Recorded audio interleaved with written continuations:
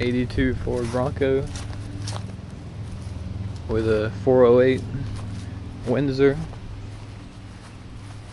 small comp cams, and very mild, very mild built 408 with open headers or open exhaust.